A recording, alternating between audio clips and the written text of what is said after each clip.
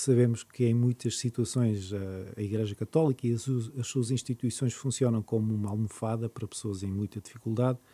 Eh, porém, as próprias instituições eh, têm vindo a público várias vezes falar da dificuldade que estão a ter na sua sustentabilidade.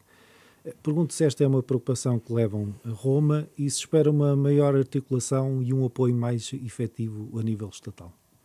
Bom, esta é uma, é uma situação aqui típica de Portugal. Não, não, isto tem diversas expressões. Eh, o sentir da Igreja em relação, em relação às necessidades de um país e, particularmente, as mais frágeis, mas, eh, e é, mas é sobretudo a nossa situação aqui. Isso não significa que sejam simplesmente a questão das IPSS eh, sejam aquelas detidas diretamente pelas paróquias, instituições religiosas, seja também as misericórdias que estão ligadas à Igreja como instituições canónicas, mas, e que significam mais de 60% da, das instituições de assistência nesses campos em Portugal. Isto significa que, que se elas cessassem, e algumas estão, estão mesmo nesse risco, quando o Estado tinha, uh, tinha como seu propósito, no mínimo, colaborar com 50% dos custos destas instituições e que se, que se Estamos a falar de metade dos custos de cada utente. De cada, de cada utente, e neste momento não chegam, parece que é pelos 38 que está.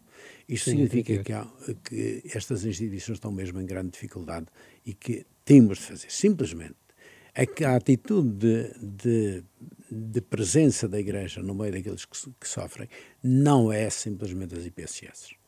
Em cada paróquia, e isto é capilarmente, as cáritas diocesanas, que não são deste tipo governamental. As conferências vicentinas. As conferências vicentinas em todo lado, isto são milhares, dezenas de milhares de pessoas que estão ao serviço dos outros e isto dá muito gosto de olhar para a Igreja desse ponto de vista e do ponto de vista estatal, no que diz respeito às instituições particulares, uh, o que é que vai exigir, ou o que é que se deve exigir?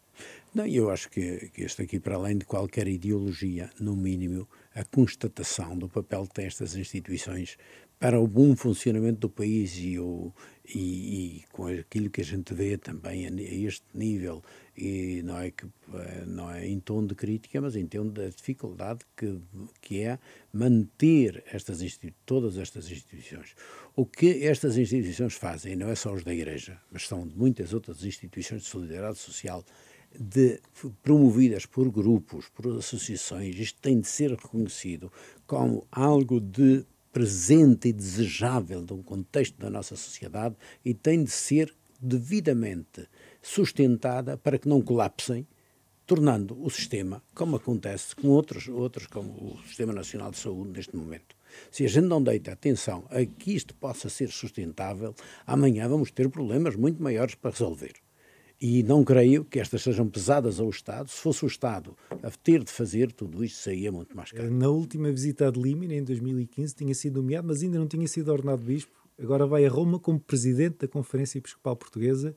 Eu pergunto com que expectativa é que parte para este, para este encontro com os organismos da Santa Sé e com o Papa Francisco? Olha, a primeira é a, a expectativa de viver aquilo que se é, como igreja e, sobretudo, o encontro com o Papa Francisco dá-nos bem esse sentido de ser igreja juntos e é essa também a função dele de nos juntar. Tenho ouvido muito até alguns títulos da, da, comunicação social a dizer que os bispos vão dar contas ao Papa como se isto fosse uma, uma vistoria um, ou multinacional. Uma, uma multinacional. Somos muito mais do que multinacional. Uh, e é um encontro, antes de mais, daquilo que se é como igreja e com aquele que representa a unidade da igreja. Uh, o ministério de, de Pedro, que o Papa está exercendo e de uma forma que constantemente desafia a Igreja a este desafio de comunhão, de participação. Também nós vamos certamente com vontade de ouvir mas também levamos a nossa experiência de igreja, que é importante para, para o Papa, é importante para os organismos da Santa Sé que vamos visitar, e é esse encontro de irmãos que nós vamos fazer, e também, com, e isso tem também importância, eh, vamos celebrar nas, nas quatro grandes basílicas, as Basílicas dos Apóstolos e de Nossa Senhora. Entre os vários acontecimentos que marcaram este período, Destaca-se naturalmente a crise provocada pelos casos de abusos sexuais de menores. Será um tema incontornável na conversa com o Papa Francisco?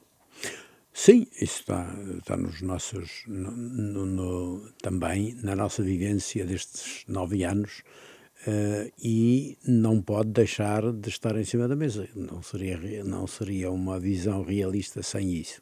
E está prevista alguma reunião de trabalho com a Comissão Pontifícia para a Proteção de Menores? Nós vamos ter, estar com os, uh, com os dicastérios que têm essa responsabilidade o dos bispos eh, e o, o dicastério para a doutrina da fé, que é, que é quem superintenda tudo isso. Depois, espera, certamente, alguma, espera alguma indicação para o futuro ou a validação do trabalho que tem vindo a ser feito?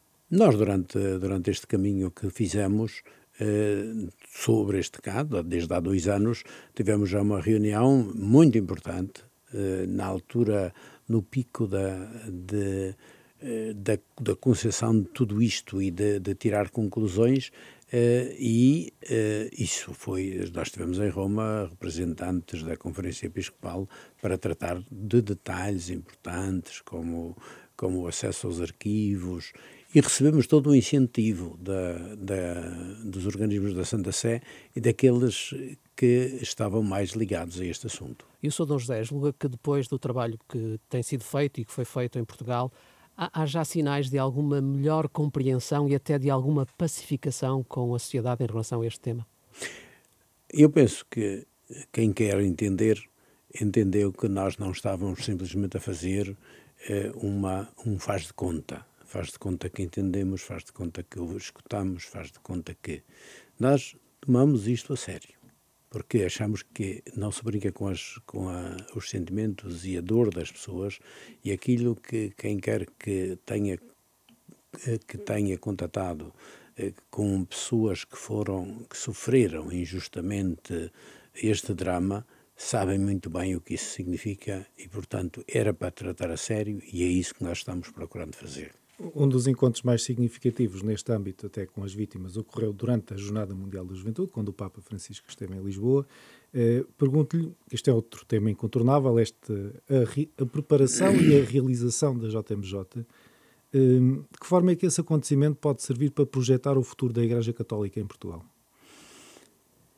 Uh, serve em, muitos, em muitos domínios. Serve primeiro na própria organização que foi. Serve na, na metodologia de motivação das pessoas.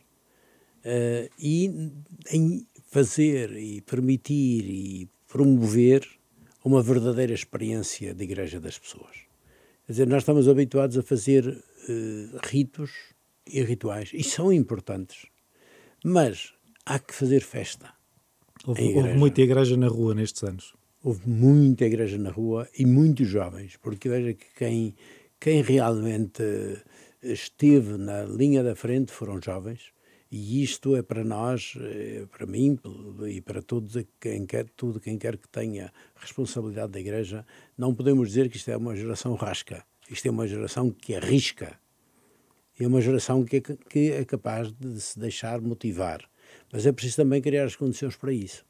Nós queremos muitos jovens na igreja, sim senhor, mas é preciso, na igreja, quando eles estão lá, dizer para que é que lá estão. Essa, e... era, essa era uma questão que eu lhe queria fazer, porque não lhe parece que está a demorar um pouco para, enfim, dar seguimento ao, ao entusiasmo que foi gerado pela JMJ? É que eh, eu acho que em todas as dioceses se está trabalhando.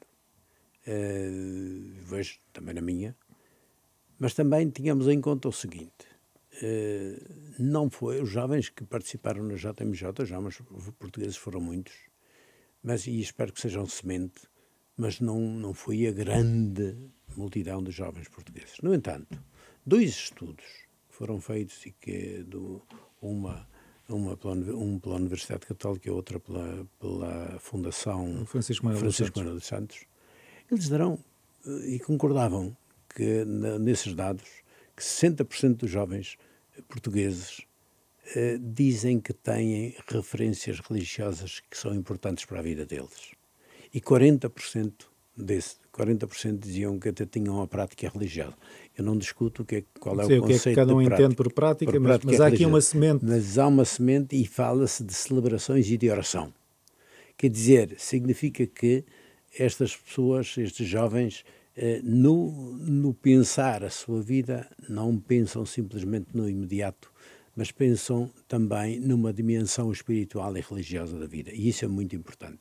Significa que há um caminho e um caminho para fazer junto com estes jovens. Por outro lado, também é verdade que os jovens não se revêem em tudo que a Igreja diz. Falta uma linguagem comum.